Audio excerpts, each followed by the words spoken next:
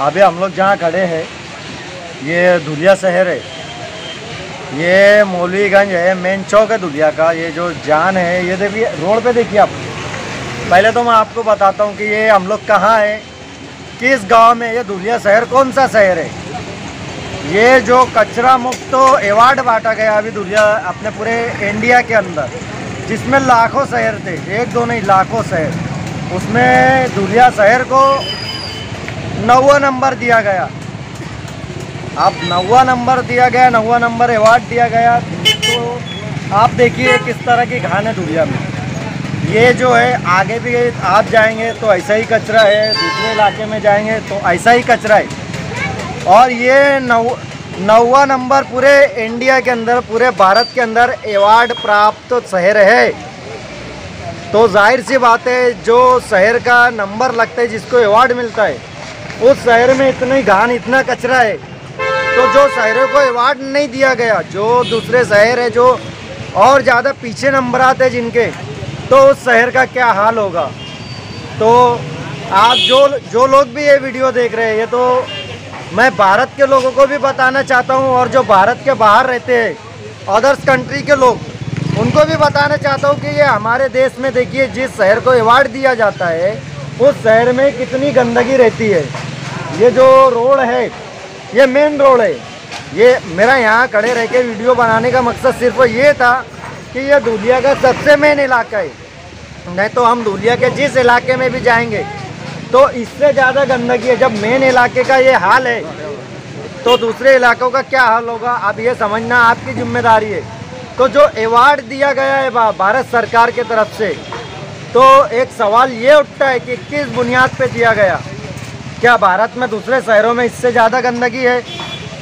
अगर इससे ज़्यादा गंदगी है तो अवार्ड देना लाजमी। अगर अवार्ड ही बांटने आपको तो ठीक है धुलिया शहर को अवार्ड दिए वो ठीक है, लाजिम है।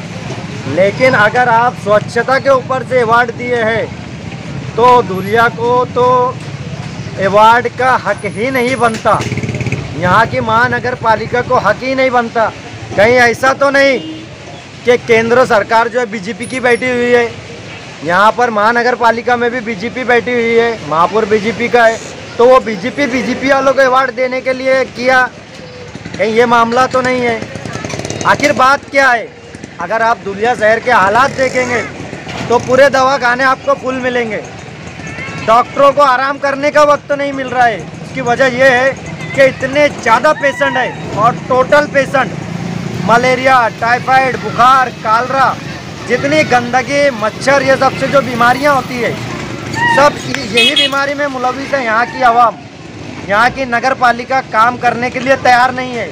यहाँ का, अभी आप देखिए, ये जो कचरे निकले हैं गटर के पहली बात तो हम जब सफ़ाई अधिकारी को फ़ोन लगाते हैं कि भैया, ये गटर ब्लॉक है, पानी बह नहीं रहा है, रोड पे पानी आ गया तो गटर निकाल दो तो आता है चार महीने बाद एक बार गटर निकालते हैं। हम उसको बोलते हैं, भैया, कायदा तो ये है कि रोज़ गटर साफ़ होना चाहिए। आप रोज़ गटर क्यों नहीं साफ़ होती?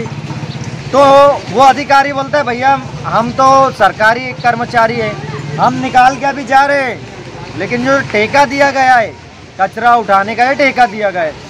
तो अब आप देखिए कि एक कचरा कितने दिन में उठेगा। और बात वही होती है कि पंद्रह पंद्रह, बीस बीस दिन कचरा उठता नहीं है, वो कचरा वापस गटर में चले जाता है, फिर गटर ब्लॉक हो जाती है। धान, मच्छर, डास दिन ब दिन बढ़ते जा रहे हैं दुलिया शहर में।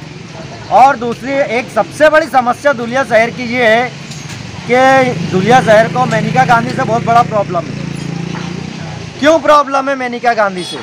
ये गंदगी से तो आवाम परेशानी है उसके बावजूद मेनिका गांधी ने एक कायदा लाया था कि भाई कुत्तों को मार नहीं सकते। दूलिया शहर में इतने कुत्ते हो गए हैं, इतने कुत्ते हो गए आज कि एक बच्चा, एक औरत, एक आदमी अकेला घर से बाहर जाने को डरता है।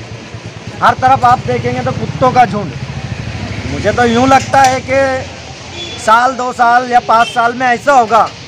कि इंसानों की गिनती दुनिया शहर में कम हो जाएगी और जानवरों, जो कुत्ते हैं, वो बढ़ जाएँगे। तो मुझे ये लगता है कि मेनिका गांधी को इंसानों से ज़्यादा शायद कुत्तों से प्यार है। हमने दुनिया महानगर पालिका में कई मरतबा कंप्लेन दी है कि जो कुत्ते हैं, अगर उसको मारने का कायदा नहीं है तो उसको कम से कम पकड़ कर ले जाओ। कहीं दूर जंगल में ले आके छोड़ दो या उनकी नसबंदी करो। ना तो महानगर पालिका उनकी नसबंदी कर पा रहा है ना ही उनको उठा के जंगल में लेके जा रहा है। और मैं तो ये कहना चाहूँगा कि अगर मेनिका गांधी को इतना कुत्तों से प्यार है तो उनके बंगले पे ले आ, ले आके जमा कर दिया जाए सारे कुत्ते। तब उनको इंसानों का एहसास होगा। मासूम मासूम बच्चों को कुत्ते काट रहे हैं, बड़ों को काट रहे हैं, जानवरों को चीर फाड़ कर रहे हैं। तो दुलिया शहर में बहुत सारी समस्याएँ हैं। अभी तो हम ये दो समस्या पे बात करें, आगे बहुत सारी समस्याओं पे बात करेंगे।